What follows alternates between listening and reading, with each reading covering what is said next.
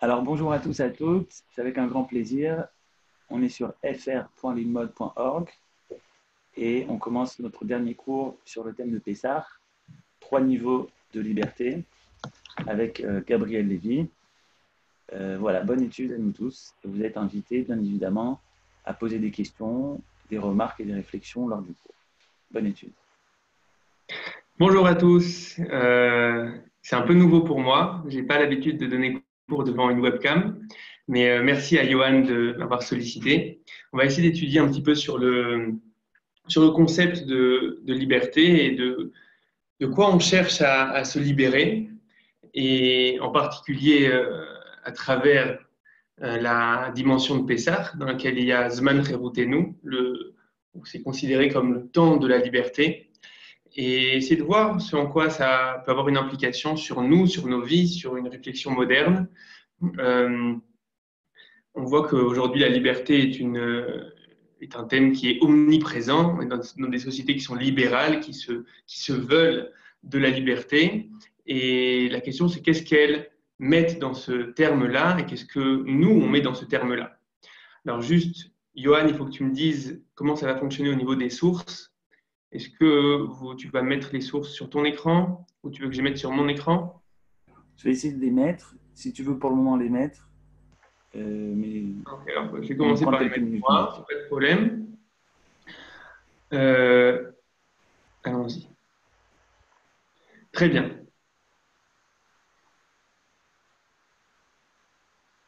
Voilà. Ici, nous avons une feuille avec pas mal de sources euh, que j'ai rassemblées. Je vais essayer de, suivre comme ça avec la souris euh, en même temps pour que vous puissiez euh, voir. Alors, on va commencer comme ça sur la notion de liberté, de chérout euh, en ivrite. On va essayer de voir deux occurrences qui vont un petit peu nous poser une problématique, nous prendre à rebrousse-poil, essayer de voir la notion de chérout comme euh, pas si évidente que ça. La première, la première euh, source que j'ai envie de voir avec vous, c'est la Mishnah dans Maseret Avot, qui est une Mishnah assez connue, qui parle des tables de la loi. Et cette Mishnah-là dit euh, Mirtav, Mirtav Elohim, Hu, Charut al Al Tikra Charut et la Cherut. Donc on parle des tables de la loi, et on nous dit que l'écriture était sculptée euh, dans les gravés plutôt, excusez-moi, gravés dans les, dans les tables, Altikra Harut et la N'appelle pas ça gravé, il appelle ça liberté. La notion de Harut euh, est assez proche au niveau des lettres de Cherut qui veut dire liberté. Donc il y a ici un rapprochement entre deux choses qui ont l'air d'être éloignées, entre d'un côté ces tables de la loi, donc ce dévoilement-là, qui est un dévoilement d'une loi, un dévoilement qui va finalement nous obliger. Et là, la Mishnah, sans nous expliquer plus que ça, nous dit Altikra et la fondamentalement, il y a là-dedans une dimension qui est une dimension de liberté. On continue dans la Mishnah. Chez En Ben Chorin, et la Osek Betalmud Torah, Vechol Mishe Osek Betorah, Tadir Arezemit Ali. Chez En Ben Chorin, parce que tu n'as pas quelqu'un qui soit fondamentalement libre et la Mishe Osek Betalmud Torah, que celui qui étudie la Torah, Bechol Mishe Osek Batorah, et toute personne qui étudie la Torah, c'est-à-dire, de manière constante, à Rezemit Ale, il s'élève. La deuxième proposition qui est sur la problématique de l'élévation, on va la rencontrer à la fin du limoud qu'on va faire ensemble. Pour l'instant, je veux juste qu'on ouvre un peu la question qui est quel rapport fondamental entre cette loi qu'on reçoit et la dimension de Khérout. Est-ce que, la, est que euh, la loi est autre que ce qu'on pense ou est-ce que la notion de Khérout est autre que ce qu'on pense Est-ce que la notion de liberté est autre que ce qu'on pense? Alors là, je vois que tu partages l'écran, Johan? Ouais. Ok. Comment j'y ai accès, moi? Une seconde, je vais te le mettre. Ok. Très bien. Ça, c'est la, la, la, première source que j'ai envie de voir avec vous. La deuxième source, qui, euh, qui, est tout aussi intéressant, tout aussi, euh, qui va nous mettre une certaine interrogation. C'est un poème qu'a écrit Rabbi Ouda Alevi. Rabbi Ouda Alevi, l'auteur du Kuzari, qui a vécu en Espagne au XIIe siècle. Et donc euh, euh, cet auteur-là, Rabbi Uda Levi, écrit un poème euh, où il dit Azman, Avadim Hem, Hu Levado Chofshi. On va traduire Avde Azman, ceux qui sont esclaves du temps, Eved Avadim Hem. Ils sont esclaves d'esclaves. Eved Hashem, celui qui sert Hashem, Hu Levad Chofshi. Et le fait soit libre. Donc on revient finalement à la même problématique qui est, comme on a vu dans la source précédente, qui est qu'il y a un rapprochement d'un côté entre la notion de liberté et d'un autre côté avec cette loi qu'on va recevoir, cet acte de la loi, avec la notion de Eved Hashem ou l'Evado Chofshi. Et c'est encore plus interrogateur parce que là, c'est un poème. C'est quelque chose qui, Rabbi Uda Levi l'écrit du plus profond de son expérience, du plus profond de son cœur. Et il écrit ça. C'est-à-dire qu'en gros, il décrit euh, sa, sa, démarche existentielle et il dit, moi je vois que je suis profondément libre uniquement dans, cette, dans ce service-là d'Hachem. Ok. Donc juste là, j'ai juste voulu vous ramener ces choses-là pour un petit peu mettre ça, introduire une problématique. Dire, on voit que nos sources traitent de la notion de liberté euh, de manière un petit peu étrange. Et, on va essayer de comprendre ça. Ce que j'ai envie de vous démontrer, c'est que les trois niveaux de liberté qu'on va, euh, qu'on va définir ensemble, au final, on peut les appliquer, on peut voir les textes qu'on a vus comme euh, s'appliquant à ces trois niveaux de liberté-là. Alors commençons maintenant par le premier niveau de liberté. Déjà, on va faire une petite introduction, une petite introduction avant de le voir dans le texte. Lorsque quelqu'un parle de liberté, en général, euh, de quoi il parle? Qu'est-ce que c'est que d'être un homme libre? On va, commencer par le plus simple. Être un homme libre, c'est pouvoir agir selon sa volonté. C'est qu'il n'y ait pas d'interaction extérieure euh, qui t'oblige, qui t'empêche d'être, qui t'empêche de faire, qui t'empêche de faire ce que tu veux. D'accord? C'est la première dimension de liberté qu'on pourrait appeler l'autonomie. D'accord? Et en effet, clairement, Pessah euh, a cette dimension-là, en ce que euh, Pessah, c'est le moment où d'un peuple d'esclaves, d'un peuple qui pas, euh, qui ne peut pas exprimer sa volonté, qui ne peut pas vivre selon euh, sa volonté, on passe d'un peuple qui peut à nouveau s'exprimer. Maintenant, on va voir un texte dans le Maharal, dans le 51e Pérec du, livre Gvurot Hashem du Maharal, où le Maharal s'occupe, le Maharal de Prague, s'occupe euh, d'une réflexion sur la matzah. Il dit que la matzah est décrite à la fois comme l'echem oni, comme un pain de pauvre ou un pain pauvre. Et à la fois, la matzah est associée à la sortie d'Égypte, associée à la libération. Et donc la question se pose, célèbre question qui est quel rapport entre la matzah qui a priori est un pain qui a l'air d'être particulièrement austère, un pain pauvre, avec la, euh, quelque chose de si positif qui est la, sortie d'Égypte, la liberté. Alors on va lire un petit peu.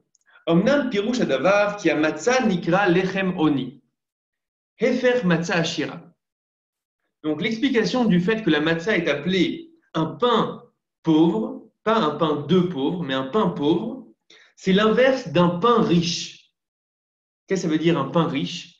Chez Kacher yeshba shemen vedvash nikret ashira. Qui a ma ashira lechem lorsque le pain a de l'huile et du miel, alors il est appelé comme il est appelé du pain riche. C'est un pain qui a déjà été enrichi, qui a une certaine complexité, dans lequel il y a beaucoup d'éléments. D'accord? Il y a le pain riche et il y a le pain pauvre.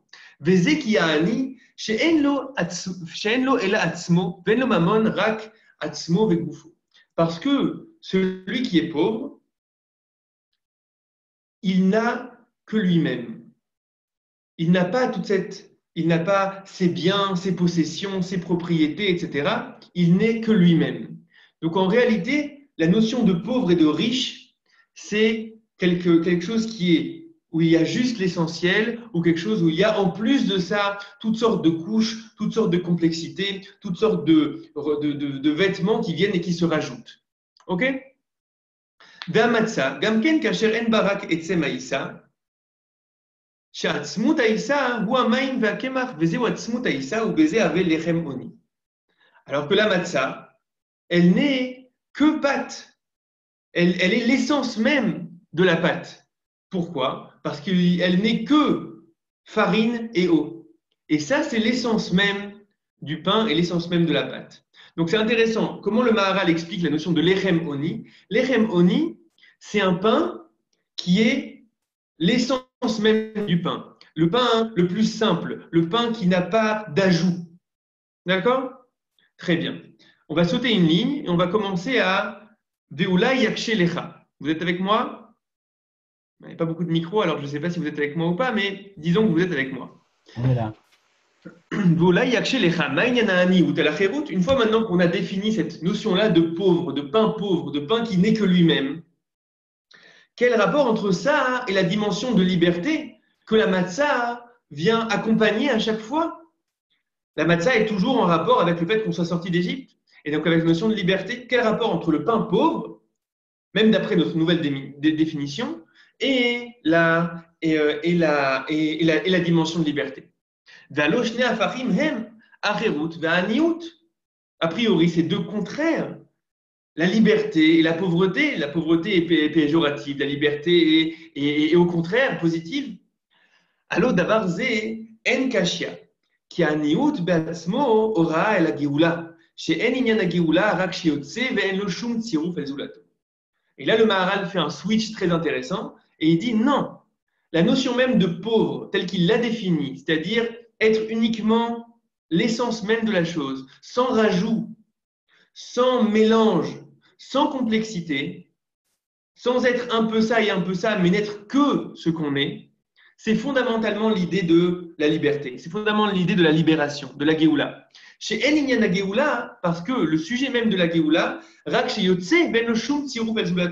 fait qu'il sorte et qu'il n'ait plus aucun mélange avec, avec quelqu'un d'autre. Donc, comment le, le Maharal voit la sortie d'Égypte? On avait jusque-là une identité qui était une identité d'une certaine manière mélangée. On est certes dans des corps d'hébreux, mais on est, notre monde de volonté euh, est uniquement l'Égypte. C'est l'Égypte qui nous dicte. Et la, liberté, c'est la capacité de s'extraire et être à nouveau uniquement soi. Ok? Ça, c'est la première idée. La première idée d'après, le premier niveau de liberté, d'après ici le Maharal, qui explique à travers la notion de matzah, ce pain pauvre, c'est le, fait de d'un retour à l'essence, d'un retour à être uniquement soi et pas être dicté ou pas être mélangé par différentes identités ou pas que ton identité soit dictée par une autre identité. Ok? Donc il y a dans la notion de liberté le fait d'être à nouveau maître, être à nouveau maître de ce qu'on fait, maître de ce qu'on est, être uniquement qui on est. Très bien. On va s'arrêter là pour le Maharal et on va avancer maintenant dans la, source d'après, dans le Rav Kook, dans Olat Reya, dans son pirouge sur la Haggadah. Alors, Johan, si tu peux euh, passer à la source d'après. Merci. Le Rav Kook va aller dans la même ligne de pensée que le Maharal ici, dans sa définition-là de la liberté. Mais ça va nous permettre de faire la transition avec déjà le deuxième niveau de liberté. Alors on va lire un petit peu dans le Rav ben ben La différence qu'il y a entre l'esclave et celui qui est libre n'est pas juste une différence qui se joue au niveau du statut social. Il n'y a pas qu'une question de statut social.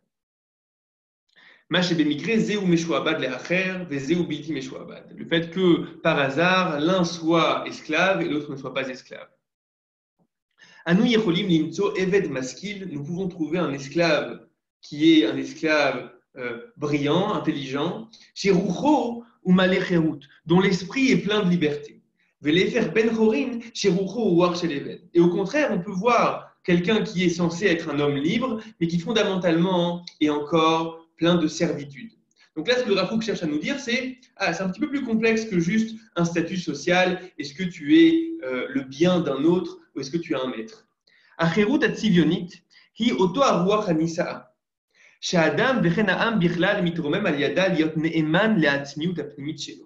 Qu'est-ce que la liberté ici dans le Rav La liberté comme, de manière fondamentale, c'est cet esprit-là,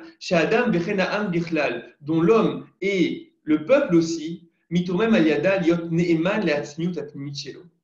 c'est la capacité à être fidèle à sa propre intériorité, l'essence même de la personne. Alors, euh, Yohan, il faut descendre un peu la source, si tu es avec nous. Tu arrives à descendre un peu la source Une seconde, il faut changer de page. Ok. La Truna Nafshit Shetzel Lokim Asher Ba'adam, c'est-à-dire. Euh, non, là, tu es encore dans cette page-là. Tu arrives à changer de page? Ah ouais.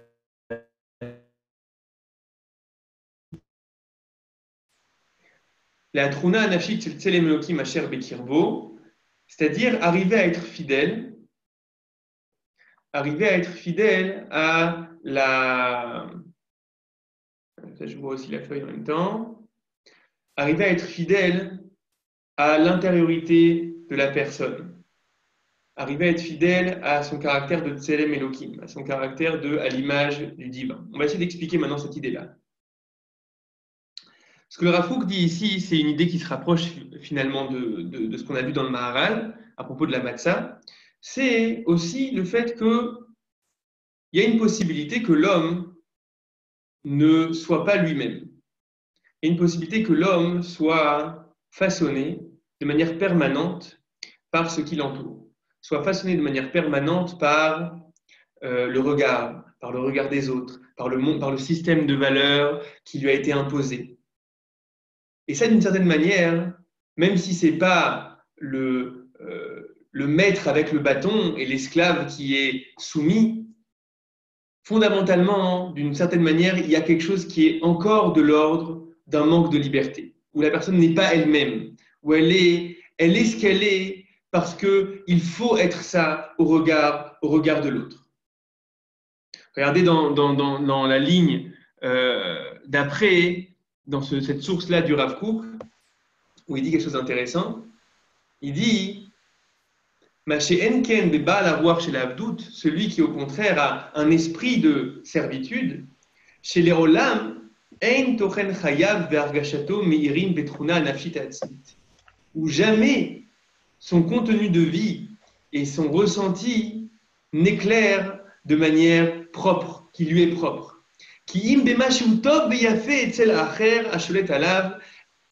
Euh, Mais il est toujours en fonction de ce qui est bien et de ce qui est beau chez l'autre, qui d'une manière ou d'une autre a une influence sur lui. Donc là, le Rav va déjà raffiner un petit peu la notion de servitude. C'est pas juste quelque chose qui est de l'ordre du statut social, c'est pas juste le maître avec un bâton, mais c'est le fait de ne, pas, de ne pas être soi, pas être soi parce qu'on est en fonction des autres. J'aimerais vous ramener une étude qui est vraiment euh, assez intéressante, qui a été faite par un psychologue euh, euh, actuellement, qui s'appelle Jonathan Haidt, H-A-I-D-T, qui est face à un, phénomène qui est un phénomène assez alarmant aux États-Unis en particulier, dans les pays anglophones, mais je pense que c'est le cas aussi en Europe. Un phénomène assez alarmant qui est une, une une crise de la santé mentale aujourd'hui chez la, ce qu'on appelle la génération AI, la génération Internet, c'est-à-dire ceux qui, sont, qui ont vécu leur, adolescence avec Internet, c'est-à-dire ceux qui ont aujourd'hui moins de 25 ans, on voit une crise qui est une crise du domaine psychologique. Pour vous donner un chiffre, qui, pour vous montrer un petit peu le, niveau de la crise, aujourd'hui on considère que chez les euh, jeunes femmes de moins de 25 ans, il y a 70% de plus de tentatives de suicide. Je répète, chez les jeunes femmes, pas les jeunes hommes, chez les jeunes femmes de moins de 25 ans, il y a ces dernières années, 70%, quand je ces dernières années, ces cinq dernières années, 70% de plus de tentatives de suicide. Et donc, c'est parmi les, lui, c'est parmi les premiers à avoir, euh, il, a, été face à ces nouvelles données, ces, nouveaux data, et donc ça pose une véritable question qui est pourquoi il y a, des changements aussi importants dans la santé psychique des gens? Et il est arrivé à deux réponses. On va traiter de la première réponse, qui, à mon sens, est très intéressante. Il dit ce sont des personnes qui ont grandi avec les réseaux sociaux. Les réseaux sociaux, c'est euh, l'univers du regard, l'univers du regard de l'autre. À partir du moment où tu es pas forcément dans les normes, où tu es pas forcément euh, d'après les, critères de, euh, de beauté et de réussite, etc., le sentiment d'exclusion et le fait que tu as reçu beaucoup moins de likes et qu'on va te faire un shaming, etc., est amplifié par la réalité des réseaux sociaux. Et donc lui, il dit, et il dit que c'est pour ça qu'on voit une différence importante entre euh, les jeunes hommes et les jeunes femmes. Chez les jeunes hommes, il y a aussi une, une, progression euh, de, de, des tentatives de suicide, mais beaucoup moins que chez les jeunes femmes, parce que de manière globale, au niveau psychologique, chez les jeunes femmes, il y a une plus grande influence de cette dimension-là, qui est la dimension de la, euh, du regard social, du regard de l'autre. Et c'est amplifié de manière complètement... qui est sortie de toute proportion à travers cette dynamique-là de, des, réseaux sociaux. Donc, pourquoi je vous ramène cette étude-là? Pour vous dire que, au final, cette problématique qui est est-ce que tu es en fonction de l'autre? Est-ce que tu es toujours dans un souci constant du qu'en dira-t-on Dans un souci constant de, des normes qui existent à l'extérieur D'un souci constant de qu'est-ce qui s'appelle à l'extérieur réussite? Qu'est-ce qui s'appelle à l'extérieur être épanoui Etc. Si tu es dans un souci constant comme ça, d'une certaine manière, tu n'es pas libre. D'une certaine manière, tu es toujours en fonction de l'autre et tu n'es pas ce lechem oni dont on a parlé chez le Maharal, ce lechem oni qui est qui n'est que soi, comme le pauvre qui n'a pas euh, toutes ces, tous, ces vêtements qui lui appartiennent pas, il n'est que lui. D'une certaine manière, la, la, notion de, liberté, de quoi on, cherche à se libérer, on, se cherche, on, cherche, à se libérer, pas uniquement de, du maître avec le bâton, mais on cherche à se libérer et être à nouveau à l'écoute de ce que le Rafouk a appelé ici Atzmiut Apnimit, de l'essence même, de quelque chose qui est au plus profond de nous et qui n'a pas besoin de recevoir, le, euh, de recevoir toujours l'accord du regard de l'autre. Ok, donc on a là pour l'instant tout ce qu'on a vu, ça reste pour moi la première dimension de liberté. Ok, la première dimension de liberté qu'on a expliquée de deux manières on a expliqué d'une manière qui est assez simple, qui est le simple fait que tu peux faire ce que tu veux profondément et que tu n'as pas besoin de. Euh, tu n'as pas un maître au-dessus de toi. Il y a quelqu'un qui parle Il y a quelqu'un qui a une question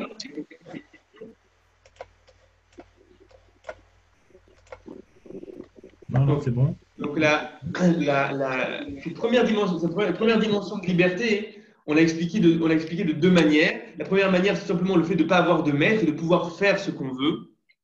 Et c'est la, notion la plus simple de liberté aujourd'hui dans le débat public, lorsqu'on dit euh, être libéré du poids de l'État, que l'État ne puisse pas me dire quand je peux ouvrir un commerce ou quand je ne peux pas ouvrir un commerce, etc. On est dans cette dimension-là de, de liberté. La dimension de liberté qui est tout simplement que je n'ai pas un joug extérieur qui me dise euh, quoi faire on a vu dans cette première dimension de liberté quelque chose d'un petit peu plus profond, un petit peu plus complexe, qui est le fait de dire, ah, même s'il n'y a pas un bâton et même si je ne suis pas obligé de faire quelque chose, le simple fait que je fasse quelque chose ou que je sois quelque chose, pas parce qu'il y a un appel de l'intérieur, mais parce que, mais parce que euh, euh, mon cadre, le regard de l'autre, c'est lui qui me, qui, me, qui me définit, alors, d'une certaine manière, ça aussi, on va se chercher à s'en libérer.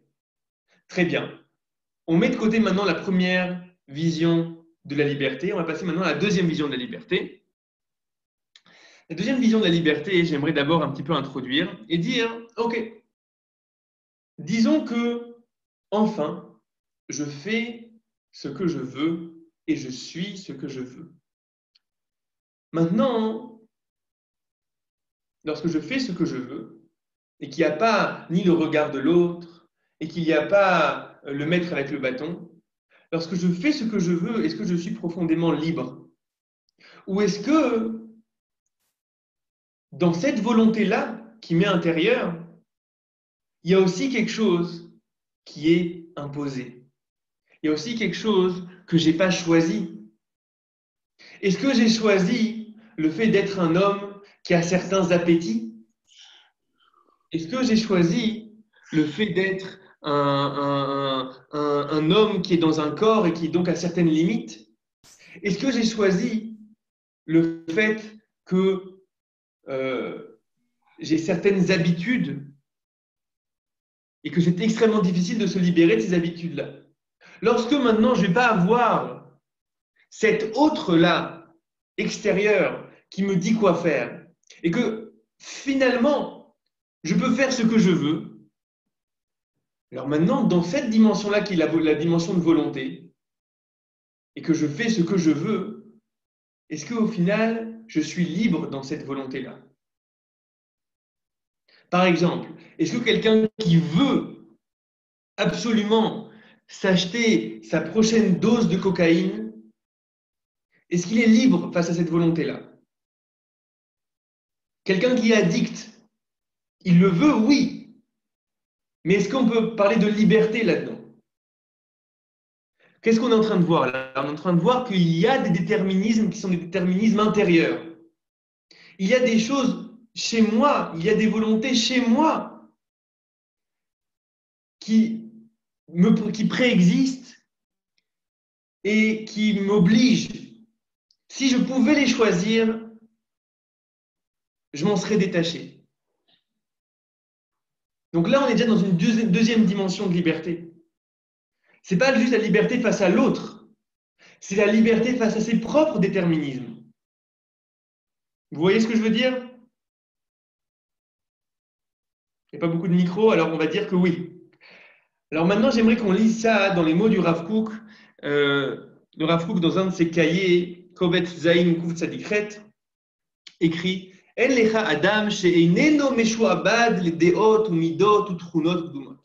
Tu n'as pas d'homme qui ne soit pas esclave les déhôtes de certaines conceptions qu'il n'a pas choisies. Il, vit dans un certain environnement dans, lequel c'est ça les conceptions. Ou midot, certaines qualités humaines. Certaines qualités humaines, quelqu'un qui est euh, particulièrement, je ne sais pas quoi, euh, égoïste, colérique, etc. Il arrive dans, il arrive dans, une, dans, dans une réalité dans laquelle cette chose-là va façonner sa volonté et il l'a pas choisi. Vetrunot Gdumot, et toutes sortes d'aspects qui le, lui précèdent. Amash Pilot et Adar. Ce sont des choses qui rabaissent la beauté de son être. Velifamim, Yeshema Shukore Beshem Garwa Et des fois, cet homme-là, il appelle du nom de Cherut, il appelle du nom de liberté, il dit bah, Je fais ce que je veux, je suis libre. Mais fondamentalement, lorsqu'il fait ce qu'il veut, il est juste à l'écoute de déterminisme intérieur qu'il a. Cet addict de cocaïne qui, euh, qui, prend sa prochaine dose et qui a l'impression de vouloir ça, et je suis libre et personne ne va me dire quoi faire, il n'a rien de libre. Il est esclave d'un déterminisme, il est esclave d'une nature, esclave d'une addiction. On, sent tous ça. On a tous des fois des espèces de, moments de volonté extrêmement profondes. Et puis d'un coup, on va se heurter à des, à des, à des habitudes qu'on a, qu'on n'arrive pas finalement à déraciner. C'est pas si facile de déraciner ces habitudes-là. C'est pas si facile de déraciner des, des addictions. C'est pas si facile de. Donc on voit que en nous-mêmes, on a cette problématique de liberté en nous-mêmes dans cette problématique de devoir les ishtarer, de devoir se libérer de certains déterminismes, de devoir se libérer d'une certaine nature, d'une certaine pesanteur qu'on a. Et donc, il faut faire extrêmement attention lorsqu'on dit je vous vends de la liberté. Quelle liberté tu nous vends? Est-ce que, tu nous vends une liberté où euh, euh, c'est assez connu que c'est la pire chose à faire que de donner à des gens qui ne se sont pas déjà autodisciplinés, de leur donner trop de liberté et trop de moyens. C'est l'énorme problème des gosses de riches. L'énorme problème des gosses de riches, c'est que tu as eu énormément de moyens trop tôt. Donc tu peux, tu as une liberté d'action énorme, mais tu n'as mais, mais, pas de liberté intérieure. Donc au final, tu vas être face à tes propres appétits, face à tes propres déterminismes, et tu vas, et, tu vas finalement euh, agir selon ça en ayant l'impression d'être libre, mais tu es juste à l'écoute d'appétit que tu as déjà. Tu es juste à l'écoute d'une nature qui, euh, qui, si tu avais à la choisir, si tu avais ce recul-là, tu aimerais plutôt t'en débarrasser.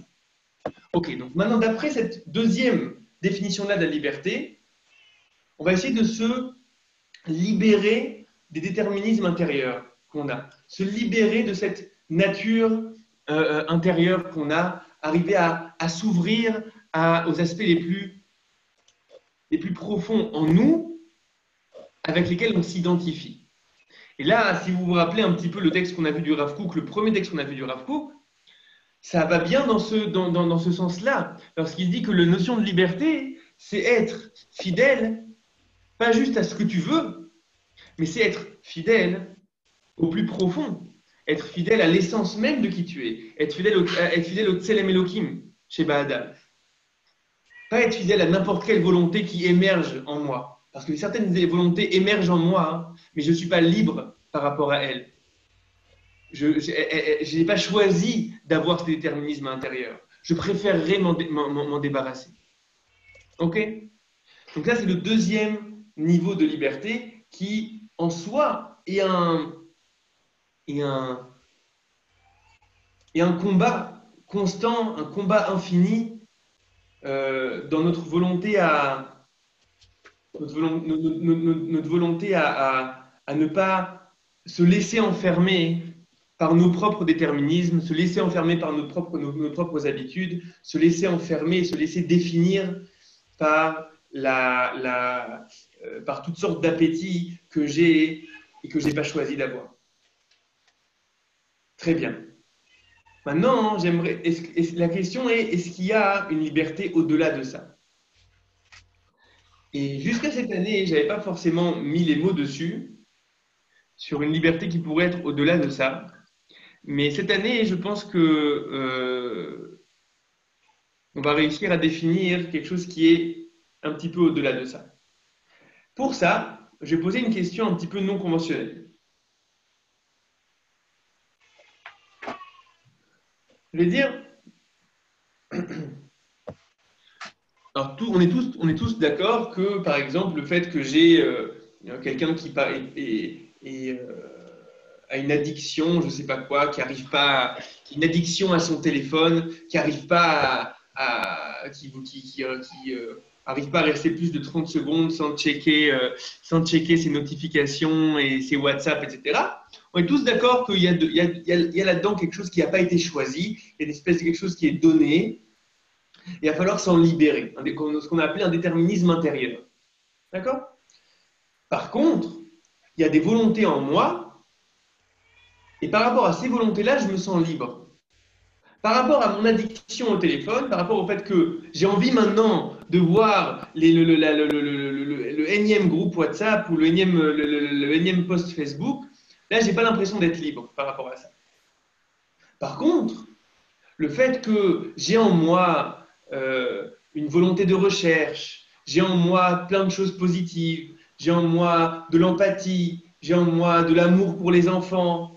Toutes ces choses-là, hein, j'ai pas l'impression que c'est des, déterminismes intérieurs qui viennent et qui me et qui me et qui me limitent, qui viennent et qui me, euh, que j'ai pas choisi. Je les vis comme le plus profond de moi-même ces, aspects, ces, aspects euh, de grandeur que j'ai en moi, je le, vis comme quelque chose qui est, qui est complètement moi. Pas quelque chose d'extérieur qui vient et qui m'oblige n'est pas quelque chose d'intérieur, un espèce de déterminisme intérieur qui, euh, qui vient et qui m'oblige. Mais j'ai l'impression que le fait que j'ai de l'empathie pour, euh, pour, pour, pour l'autre, que j'ai une envie d'aider, que j'ai une envie de m'élever, toutes ces choses-là qui sont positives, j'ai l'impression que c'est tout simplement moi. Et c'est vrai. C'est vrai qu'il y a dans, dans, dans ce deuxième niveau de liberté-là, finalement, ce qu'on va chercher, c'est, on va dire, essayer d'enlever les écorces de déterminisme de nature pour arriver à l'identité la plus euh, profonde qu'on a, qui est ce, qui est ce bien-là. On va l'appeler le Yetzeratov, par exemple. nos, aspirations vers nos aspirations de bien. J'ai posé une question qui est un, peu, euh, un petit peu dérangeante. Et ce Yetzeratov-là, on l'a choisi. Est-ce que le fait que j'ai un appel vers certains sentiments moraux Est-ce que le fait que j'ai un appel vers euh, la connaissance Toutes ces choses-là avec lesquelles je m'identifie complètement et je me sens libre par rapport à ça. Je n'ai pas l'impression que ça m'a été imposé. Mais là, je viens dire quelque chose qui est, mais au final, ça t'a quand même été imposé. Au final, d'une certaine manière, tu n'as pas choisi d'être ça. Est-ce que la question est claire? S'il y a encore quelqu'un. J'arrive pas, comme je vois pas vos, comme je vois pas vos visages, alors je ne sais pas. Hein. Bon, on va dire que la question est claire.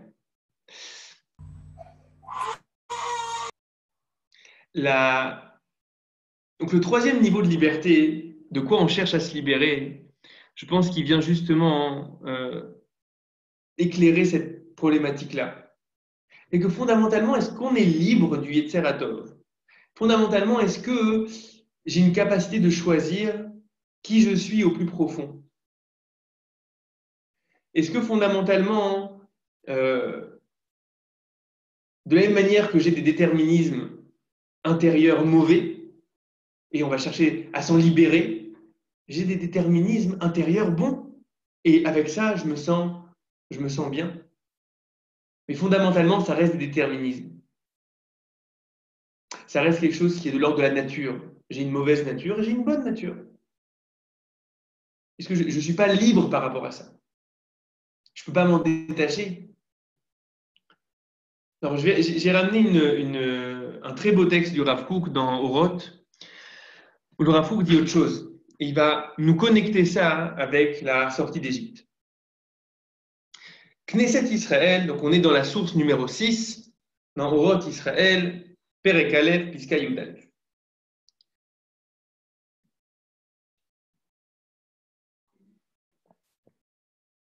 Knesset Israël, Menatzachat et Olam Bekocha Aruchani. L'Assemblée d'Israël, Menatzachat, elle arrive à vaincre, à surmonter le monde par sa force spirituelle. Chez Yesoda.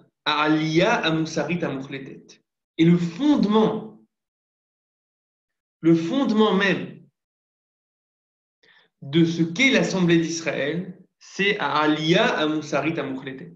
C'est l'élévation morale absolue. Une élévation qui ne cesse jamais, qui surmonte toujours l'étape précédente. Aola Adam, qui arrive à surmonter les penchants qui sont dans l'esprit de l'homme, Gam même sur les bonnes, même sur les bons penchants, même sur les, bonnes, les bons appétits, même sur les bons déterminismes qu'on a en nous, il y a une capacité à surmonter ça. Là, il y a une phrase qui est une phrase, à mon avis, qui est extrêmement importante, extrêmement centrale. Où le Rafouk nous dit que d'une certaine manière, même les aspects les plus élevés qu'on a en nous, comme on a dit, l'aspiration morale, l'aspiration de connaissance, etc., notre volonté de, de, de, se, de se rapprocher, d'être sincère, d'être authentique, toutes ces choses-là, où on a posé la question, on a posé la problématique, mais fondamentalement, je ne suis pas libre par rapport à ça. Là, le Rafouk nous dit il y a dans les fondements de l'identité d'Israël, il y a cette réalité-là qui est que même ça, ça peut être encore élevé. Même ça, c'est qu'une étape vers encore une élévation. Et d'une certaine manière, on n'est pas déterminé, on n'est pas défini, y compris par notre Yetzeratov. Chez Yesoda à Aliyah Moussarit le fondement même de l'identité d'Israël, c'est la capacité d'élévation à l'infini. La capacité d'élévation à l'infini, c'est le fait de dire que fondamentalement, j'appartiens à quelque chose qui ne peut pas être défini. On ne peut pas limiter l'identité uniquement à, un certain point positif. Mais ça continue toujours à avancer. Il y a une appartenance à l'infini dans l'homme. Je ne sais pas si vous connaissez ce, ce midrash-là qui dit que les anges ont qu'un seul pied alors que les hommes ont deux pieds. Les anges ont qu'un seul pied, ils, ils, tiennent, ils tiennent, ils sont une identité, ils sont une influence positive qu'ils vont donner vers le monde. Alors que l'homme a cette possibilité de dynamique. Cette possibilité de dynamique, ça veut dire que fondamentalement, son essence, c'est pas quelque chose qui est fini et qui est défini, mais fondamentalement, son essence, c'est la capacité d'élévation perpétuelle. Le fait que n'importe quel soit le niveau à laquelle la personne va arriver, il aura la liberté d'aller encore au-dessus. Il aura soif d'aller encore au-dessus. Ça ne le définira jamais. Et donc, d'une certaine manière, la liberté dans le peuple d'Israël, c'est l'appartenance au Olam C'est l'appartenance au monde de liberté, au monde d'infini, au monde dans lequel les choses ne sont pas fixées. Alors que le monde de nature, c'est un monde où les choses sont fixes, définies. Un minéral est un minéral, un végétal est un végétal, un animal est un animal. On sait ce qu'ils sont capables, on sait ce qu'ils font. Fondamentalement, il y a dans l'homme et caractérisé dans l'identité d'Israël, il y a le fait que non, fondamentalement, il y a dans l'homme une appartenance à quelque chose qui est pas le monde de nature, mais qui est le monde de Khérout, qui est le monde de liberté, qui est le monde qui est au-delà de ce qui est défini. Et chaque chose qu'on va absorber, qu'on va définir en nous, c'est juste une étape vers encore une autre avancée. Maintenant, on va voir quel rapport entre ça et fondamentalement Yetziat Mitzrayim. Donc le Rav continue.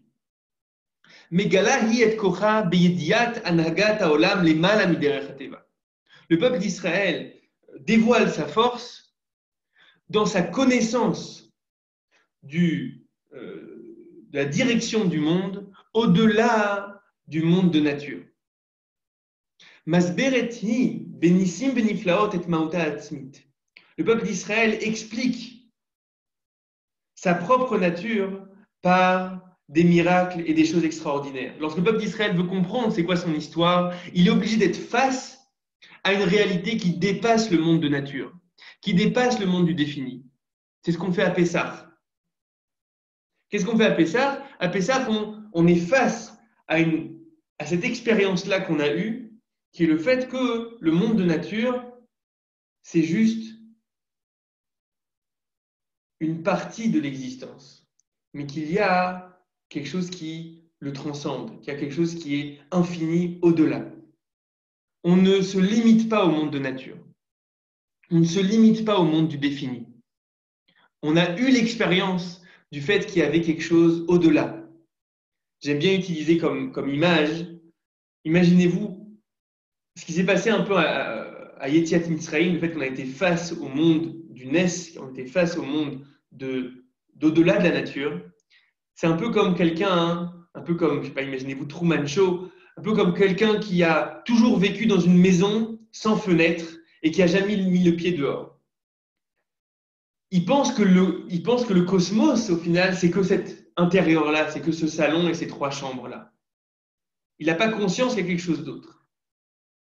Et un jour, il y a une pioche qui vient et qui abat un, pan entier du, un pan entier du mur et d'un coup il voit qu'il y a quelque chose au-delà de la maison, il y a une prairie, il y a des arbres, il y a de l'herbe, il y a des papillons, etc. il s'ouvre à une réalité qui est une réalité qui est beaucoup plus grande que ce qu'il connaissait. C'est exactement ça ce qui s'est passé avec, avec Yetiat Mitzrayim. Yetiat Mitzrayim, c'est Yetiat Mitzrayim. C'est le fait qu'on soit sorti du, du monde de l'étroitesse. On est sorti du monde de nature, on est sorti du fait que le monde qui jusque-là, qu'on rencontrait uniquement comme un monde qui est défini, qui a des lois bien claires, où chaque cause amènera toujours la même conséquence. D'un coup, il y a un pan de la maison qui vole en éclats, et d'un coup, on voit que tout ça appartient à une réalité qui est bien au-delà, qui est bien au-delà de ça. Donc fondamentalement, le troisième niveau de liberté, c'est le fait qu'il y a l'appartenance au monde, l'appartenance à Olam l'appartenance à l'infini, et que même, même le bien, même la, même la bonne nature qu'on a en nous, c'est que c'est qu'une goutte dans l'océan, et qu'on a donc soif d'encore une madriga, d'encore un niveau, et on est libre de continuer à avancer. Et on n'est jamais, jamais complètement défini. On n'est jamais complètement défini. Non seulement on n'est pas défini par les déterminismes mauvais qu'on a en nous, mais on n'est pas non plus défini par, les, par, par le bien qui existe déjà en nous. Cette chose-là aussi va pouvoir être grandie et dépassée. maintenant, j'aimerais, pour finir, faire deux choses. Premièrement, voir que cette chose-là, ce troisième niveau de liberté, j'ai l'impression que c'est un peu le titre de toute la sortie d'Égypte. Pourquoi je dis ça? Parce que juste avant que Moshe Rabbeinu soit envoyé par Hachem pour délivrer à Israël, il y a, donc là c'est la source numéro 7, il y a le, le dévoilement du buisson ardent il y a dans ce dévoilement du buisson ardent, il y a un dialogue entre Hachem et, et Moshe Rabbeinu qui est euh, assez étrange. Et on va le lire ensemble. Donc la source numéro 7 est dans Shemot Perek Gimel, troisième chapitre. Vayomer Moshe el Elohim, Ine Anochi ba el Bene Israël, va Vamarti lahem, Eloke avotechem, Shelachani elechem, Vamruli mashmo maomar alehem. Donc Moshe dit à Hachem, Israël, donc tu vas m'envoyer vers les Israël et je vais aller les voir. Et je vais leur dire, le Dieu de vos pères m'a envoyé. Et ils vont me demander, Mashmo, quel est son nom? Qu'est-ce que je vais leur, dire? Vous voyez la profondeur de, de cet échange-là. Ce qui va préoccuper le peuple d'Israël, c'est pas hein, est-ce qu'on va sortir ou pas sortir. A priori, si j'étais esclave, qui me sort du pétrin, c'est moins la question. La question, c'est d'abord qu'on me sorte. Mais là, Moshe nous dit non, je les connais, ils vont me demander c'est quoi le nom? C'est quoi le nom d'Hachem? Vayomar Elohim, Pasuk Yudalet, donc Vayomar Elohim et Moshe, Eye Asher Eye. Le nom que tu vas leur dire, c'est le nom Eye Asher Eye. C'est un nom qu'on ne retrouve pas après dans le Tanakh. Ce nom-là de Eye Asher Eye. Eye Asher Eye, si on devait traduire, donc c'est le verbe être au futur, à la première personne du futur, je serai ce que je serai. Kotomar Israël Shelachan le nom par lequel je vais me dévoiler au peuple d'Israël, et ça va être ça, comme j'ai appelé ça, le titre un peu de, toute la sortie d'Égypte. Le dévoilement d'Hachem qui va se faire en toute la sortie d'Égypte, c'est le, nom de Eye Hacher Eye. Le fait que la notion même de celui qui nous délivre, la notion même de celui qui a la pyramide de tout notre système de pensée, cette notion-là, elle est elle-même toujours en avancée constante. Ayez à chérir, je serai ce que je serai. Ma manière de me dévoiler à vous maintenant, plus vous allez grandir, plus vous verrez que se dévoilera de mon identité, de ma volonté, de mon message de plus en plus.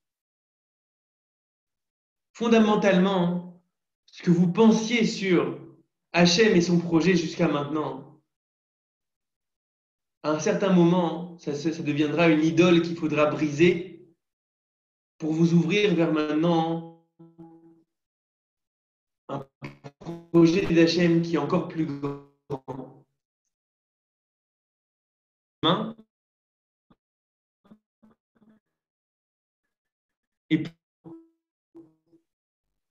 Et, ça, on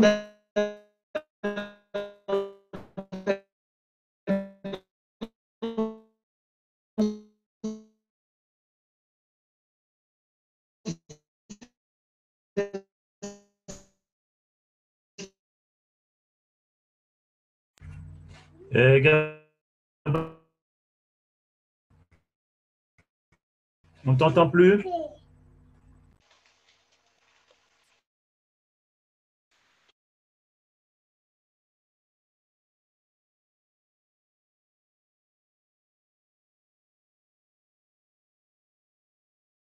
Je disais que. Tu passes plus, Gabriel. Ah, pourquoi? Il y a un arrêt. Ok. C'est dans chiffres. Elle ne marche pas. Ah, ça y est, ça repart. Ça repart. Attends, c'est toi là ou pas? Alors, attends. Ouais, Euh, c'est bon, ça, ça fait 40 secondes qu'on t'entend plus. On a une coupure. bon. Ok, très bien. Euh, à quel moment ça s'est arrêté que je sache où Comme j'en tu- suis? Johan, c'est toi que j'entends pas là. Redis-moi.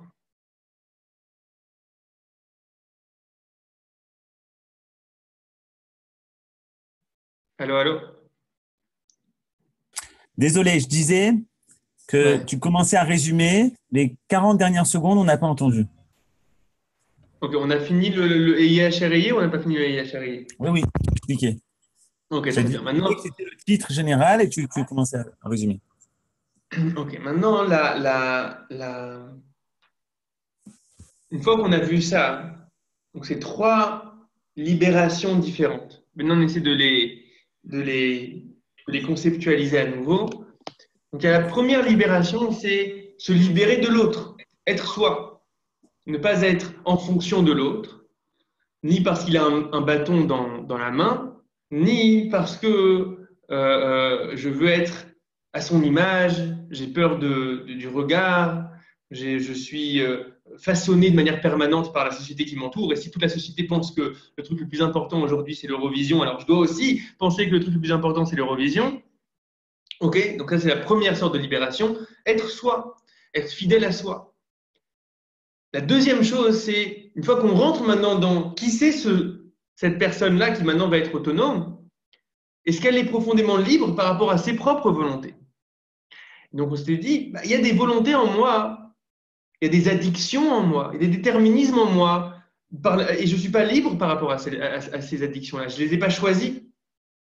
D'accord? Donc ça, c'est la deuxième sorte de liberté qui va être la volonté de, de s'extraire de certains déterminismes, d'une certaine nature qui est en l'homme. Et la troisième chose qu'on a dit, c'est que même lorsque je m'extrais de ces déterminismes bas qui sont en moi, du fait que je sois rempli de certaines habitudes, d'appétit, etc., ben, d'une certaine manière, maintenant, je me rapproche de, des aspects les plus élevés que, j'ai en moi. Et je me dis, mais ça aussi, je ne suis pas complètement libre par rapport à ça.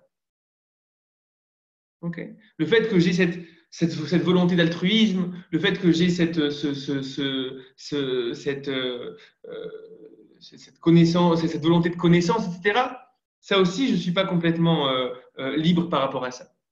Et là, la dernière réponse qu'on a donnée, c'est d'une certaine manière, si il y a une capacité à être dans un système d'élévation qui système d'élévation qui n'a pas de plafond, qui n'a pas de limite, dans lequel il y a une appartenance à, à ce qui est au-delà de la limite. Et rien fondamentalement ne me définira. Aucune valeur morale que j'ai maintenant ne me limite et ne dit que tu n'es que ça. Chaque chose est que euh, une marche de l'escalier, une marche de l'échelle qui m'amène encore plus haut. Et ça, ça se dévoile à travers le Yetiat Mitzrayim, à travers le fait qu'on a euh, pas juste un sorti d'esclavage, mais aussi un sorti de la nature. On sort de la nature, on sort des limites, on est face à un monde qui nous propose de l'infini, et on est face à un nom d'Hachem qui nous propose de l'infini. La notion même de divin est, est, ce qui toujours sera un horizon qui ira et, grandira et se complexifiera. Non, je veux revenir maintenant aux deux sources qu'on a vues au début qui nous ont un petit peu ouvert le, le, qui sont ce, le fait que, à propos des tables de la loi, on nous dit que c'est Harut à la Luchot, qu'elles étaient sculptées dans, la pierre, gravées dans la pierre, et on dit Altikra Harut et la Cherut.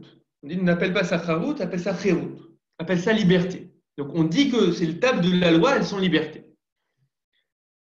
Et la deuxième chose qu'on avait vue, c'est cette, poésie de, Rabbi Ouda Levi qui, de manière spontanée, dit Eved Hashem ou Celui qui sert Hashem, lui, il est libre.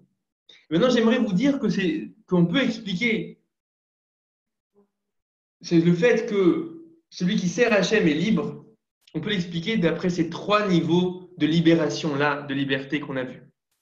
La première chose qui est le fait d'être toujours en fonction de l'autre, le fait d'être incapable d'être soi-même, c'est sûr que dans la, dans la, la, dynamique dans laquelle la Torah nous, nous, nous, met, avec une boussole extrêmement claire de valeurs, avec une recherche permanente d'études, alors clairement la, capacité d'être toujours fonction de, de, de, fonction de ce qui se passe, fonction des modes, fonction de, de ce qui se passe à l'extérieur, d'une certaine manière, ça, a moins d'emprise sur nous. Un peu comme le peuple d'Israël pendant 2000 ans d'exil, qui peut vivre une réalité quasi déconnectée de tous les changements de tous les changements euh, civilisationnels qui se font autour de lui, toutes les modes euh, qui viennent et qui partent. Euh, le peuple d'Israël continue avec une certaine, un mouvement assez rectiligne comme ça. Il est d'une certaine manière un peu libéré du regard de l'autre. C'est le premier pan de ce en quoi Ebed Hashem ou Chofshi, ce en quoi celui qui sert Hashem a cette dimension de liberté.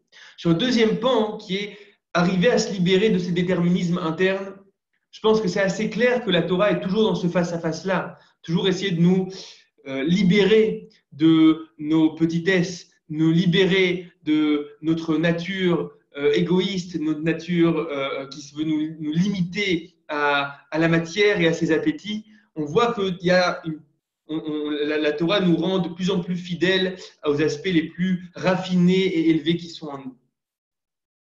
Et la troisième dimension de liberté, à mon, sens, c'est la plus claire. Eved Hashem ou Levado. Être Eved Hashem, servir Hashem et pas être Eved Azman, pas être celui qui sert le temps, pas être celui qui sert le, les modes du temps, les différents euh, systèmes de valeurs que chaque époque amène. Eved Hashem ou Levado Chofshi, dans le sens où, dans le sens où